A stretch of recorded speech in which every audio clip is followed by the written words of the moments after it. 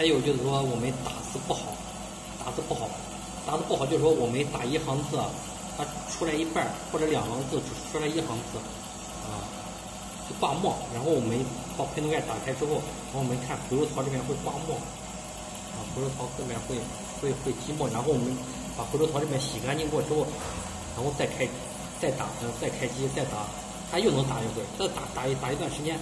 哎，它这边又会积墨，就打的又不好。这样的话，我们要检查我们的墨线位置是不是正确的啊？墨线位置正确，是不是正确？如果墨线位置正确，粘度正常，粘度正常，墨线位置的正确，点飞链还好。如果还是挂墨的话，那说明我们充电不好，说明我们充电不好。我们可以调一下我们充电值，啊，充电值，我们可以调一下我们充电值。如果我们充电值怎么调都调不好。那那只能就说保养一下机器，可能这个墨水变质了，我，面墨水变质了，然后，要保养一下机器了。我没有光电的话，感应的话，嗯，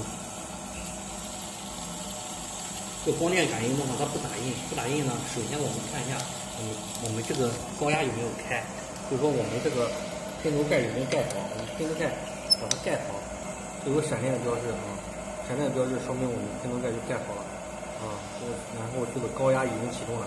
如果这个方框里面没有没显示这个雷电的闪电的标识，那我们不打印的话是正常的。那么要检查一下我们喷头盖，喷头盖有没有盖好。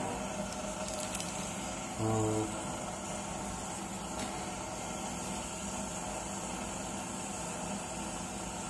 我们我们如果要是。